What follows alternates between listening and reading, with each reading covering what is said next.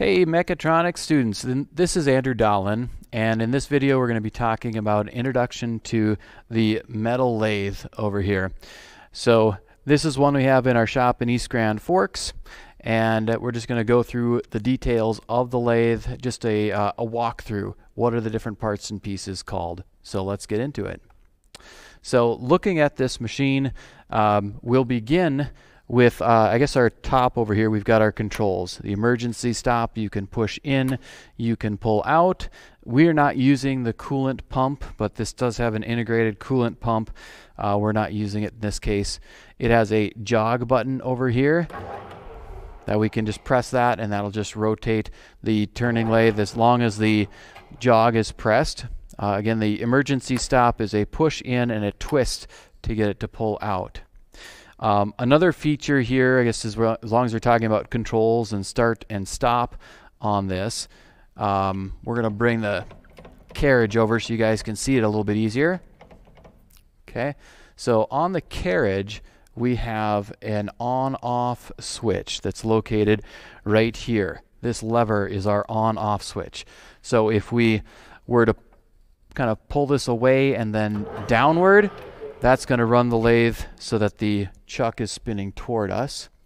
And then if we kind of push it away and pull up, that's going to run the lathe in the opposite direction. So that's our start-stop lever for this. And I also want to point out one more stopping device, and that would be located at the very bottom of the machine that red bar that's located right here. So this is kind of like a panic button in emergency. It does two things. It stops the rotation and it also um, applies a mechanical brake to the chuck. So we're going to demonstrate that here for you guys. Um, I'm just going to slam on that. You guys will be able to see what happens with the chuck as it's rotating. All right. So I'll cross and we'll get it started up. Generally speaking, the guard should be over the chuck when you're operating the machine. This chuck guard helps to protect us against flying chips and it's also just kind of a, a reminder that that's a danger zone on the machine.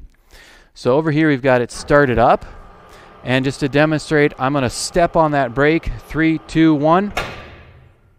All right, makes lots of good noise. Brings the machine to an immediate stop. So if anything's wrong, uh, that is your go-to way of stopping the machine is to step on the emergency stop brake that's located at the bottom. All right. So those are the controls. Now let's just pan over here and take a closer look at some of the other features on the machine. Then we already said this is our chuck guard. Well, this is a chuck that's sitting in here. This particular one happens to be a three jaw chuck. And as you look at it very closely, you'll see three separate jaws. That's why it gets its name. This is the chuck key. This is what's used to open and close the jaws of the chuck. All right, so you'd place material in there, tighten it up, and then never leave the key inside of the chuck. Uh, if this were left in here and someone were to power it up, this becomes a projectile and flies across the room. So you never leave the key inside of the chuck. Okay, uh, let's talk about the speed controls. This particular model has eight different speeds that it can go to, uh, the fastest being 2,000 RPMs and the slowest being 70 RPMs. How you select it is pretty simple. Uh, we just go from high speed, low speed using this knob on the top. And you'll notice that sometimes it gets stuck when you're trying to go from high to low. It may get stuck, and that may you just might need to rotate the chuck a little bit to get it to engage. There's a couple of gears that need to line up in there. So I've got it set up now high speed. Um, this would actually be the fastest that it would rotate. So if we want to jog and show what that looks like at 2,000 RPMs, um, let's see. Oh, I still have this down over here. We'll jog it.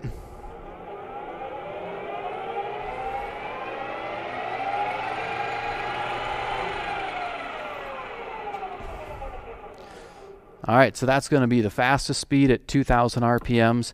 And then we can change it to its lowest speed, which would be 70 RPMs. All right, which is a little better than once per second that the thing's going to rotate around. So a big difference between 70 RPMs and 2000. So you will adjust the speed based on the material that you're cutting. We'll get more into that later.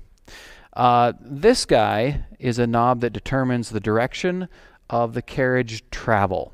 So let me just show what you're talking about there with carriage travel. I think I'll get it set up for 300 RPMs. And we'll run it here, and I'll show you carriage travel. So this whole assembly here is the carriage. And the carriage can travel back and forth manually or automatically by pressing this carriage travel button. So this is basically an engage and disengage. So back to our knob over here.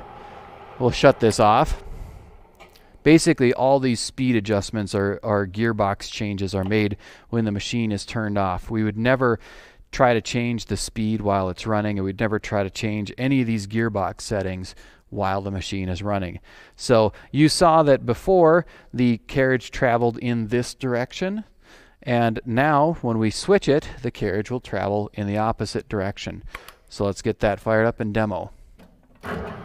So here we go. We're turning on our... Oh.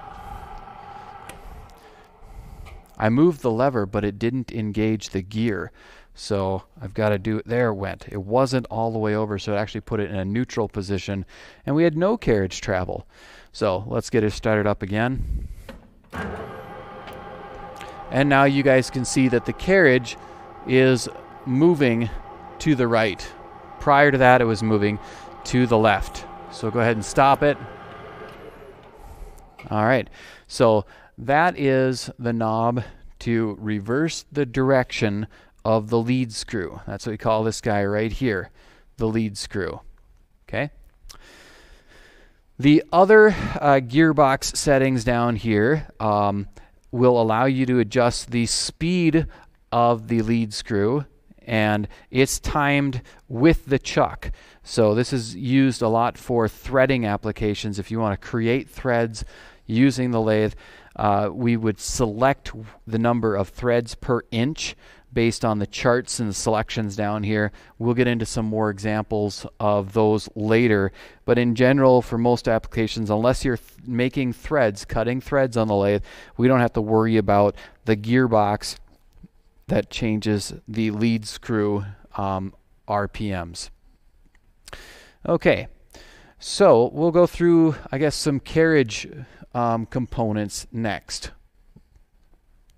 So this handle is going to allow you to move the main carriage from left to right and it has a number of uh, on the dial here you can see both in inches and millimeters um, a little uh, dial that indicates how far it has traveled so this is the carriage the whole thing this guy is called the cross slide it moves in and out in this direction all right. So we can feed our cutter in this way, that way. And then after the cross slide, we have the top slide. And the top slide has a couple of bolts that we can loosen and we can change the angle at which the top slide comes in. Sitting on top of the top slide, we have the quick change tool post. So this is an example of one of the tools we use for cutting on the lathe. We'll get more details about what different tools look like. But just know that that's the quick change tool post. Pop it in and this lever locks it into position. All right. So a couple of other features. We already talked about the on-off switch. We already talked about engaging and disengaging the whole carriage feed so we can automatically feed the carriage in. And then this guy is interesting in that um, it allows for automatic feed of the cross slide. So we'll demonstrate that here. Uh, you'll see that when I engage and disengage this, the cross slide handle is going to move. So here we go. We'll engage. Um, something is something is not right. Let's see. Oh, I think I I bumped something and it got out of whack. There we go. The lathe was basically in neutral. So now we should be able to see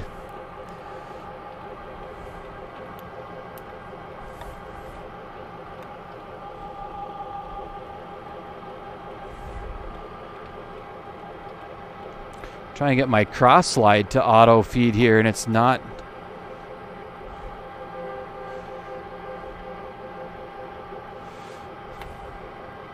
There we go. I had it for a second.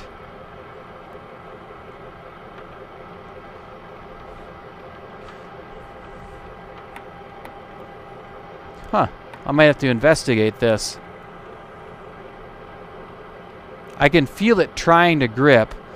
So I wonder if something's out of adjustment on here. But this should be making our cross slide move forward and backward. But something is not quite right mechanically. Anyway, I'll have to get that repaired. It's not something we use very often. Uh, most of the time the cross slide is manually fed in and out. Okay. Um, other features of the lathe. If we were to point downward, we'll have a chip tray. So here's the whole bottom tray. This can lift up and out. Uh, when you're doing so, kind of watch the cords that are underneath here. And when you're done with the lathe for the day, this will catch all of the chips, kind of sweep them into the tray, and then empty that tray. You can pull the whole thing out and put it, the chips into the recycling bin. Okay, uh, toward the end of the lathe, we've got another feature here, and this is called the tailstock. So I'm going to jump across camera here, and a couple of details. The tailstock we can move in and out. So a lot of times we're doing drilling operations. We can install a uh, drill on this end. That's got a taper lock to it that's going to stay engaged.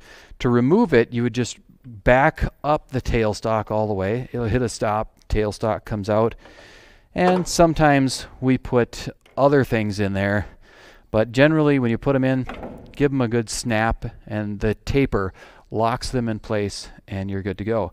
So this can be slid in and out and it's got a small lever back behind to lock it and a large lever that we can loosen and allows the whole tailstock to move forward and backward. When you want to get it in a position grab the larger lever lock it and well when it's locked hard it shouldn't be going anywhere. Okay.